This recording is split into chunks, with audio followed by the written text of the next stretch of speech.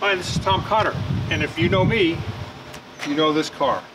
And you know that I found it during the first season of Barn Find Hunter, fell in love with it, and a couple months later, it was in my driveway. 67 Ford Country Squire, uh, the only one built with a 428 cubic inch,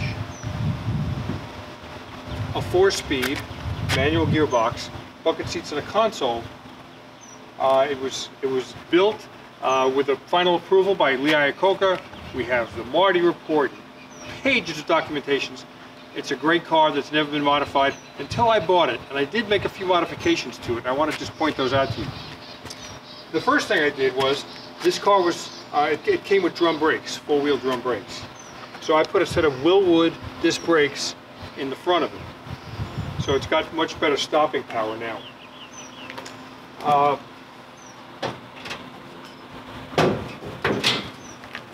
So the Wilwood disc brake setup comes with new master cylinder. It's got a proportioning valve. And so the brakes are much better. I mean, as you know, I drive this car. Every time you see an episode of Barn Find Hunter where I, am in this car, yeah, we drive it a thousand miles in, over the course of five days.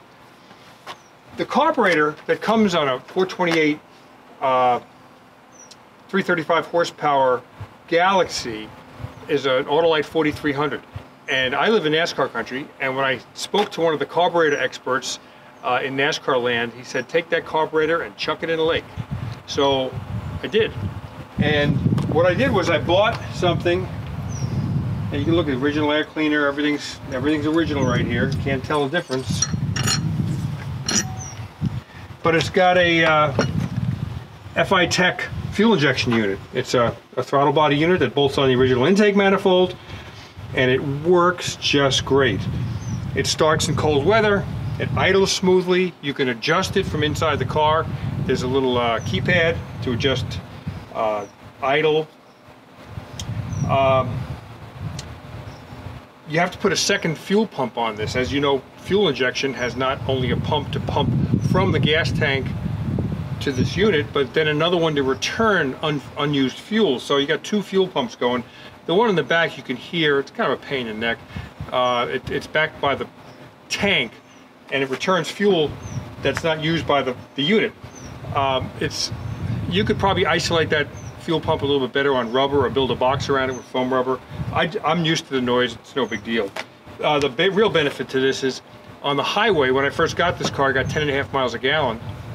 With this unit on it, it gets 13 and a half miles a gallon. You know, still Still not great gas mileage, but just imagine it's about a 30% increase in fuel mileage. Um, let's see, what else can I tell you? I'll, I'll put that on later. Uh, the factory did not sell these cars with dual exhaust, but I had to have dual exhaust on it. I mean, you can't have an engine like that kind of uh, shrunk down to a single exhaust. So I, you know, it's got dual exhaust and they're pointing out the way they should, sideways. So when you open the back window, you don't get fumes if they were pointing straight out. So I got a set of uh, Flowmaster mufflers on there. It sounds really bitchin'.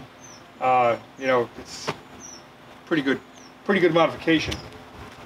So let's see. Oh, and then the, the other big, big modification I did was not really a modification. It was a kind of a maintenance repair. We took the body off the frame and uh, these station wagons, actually Galaxies in general, have a, a, a, problem where there's corrosion underneath the car and frames can just break in half. It's happened. So we picked the body off the frame. There are rubber biscuits that go insulate the body from the chassis. And those biscuits, some of them had broken through the, the frame. So picked the, the frame up, welded up those spots, put new biscuits on, repaired a lot of the corrosion that had been starting underneath the body and the frame and put it back down. And now, I mean, this car doesn't have any rattles. It's, uh, it's really a good car. So, uh, full disclosure, uh, what would I do with this car if I had, you know, gonna keep it a long time. I've had it now probably four years and I love it. But I, you know, I have 21 cars. It's time to start selling some.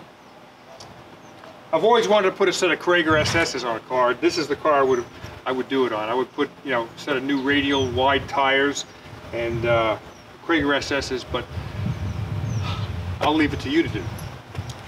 Uh, I would probably put new shocks on it. you know, they're, they're, they're not blown out. I just, I would get a real firm shock, maybe an adjustable Koni type shock, uh, so it didn't wallow as much. Um, talk about wheels. One of the, one of the pains in this car is that these hubcaps tend to fly off occasionally. And so it's got three hubcaps on there now. The one over there is this one. Thankfully, we found it in the bushes. When I was driving to Hershey last year, I lost two hubcaps within a mile. Um, so just keep that in mind. I think there's something egg-shaped with this hubcap. You're going to get it, and you can figure out how to fix it or maybe get another one. It kind of looks cool with them on there, very period. These two back side windows don't go down, okay? Uh, but included in the car purchase are two brand new window motors that will make these go up and down. So there's two new ones here for this, the rear side windows.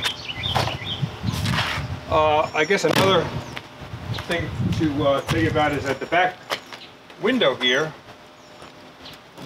needs to be coached up and down.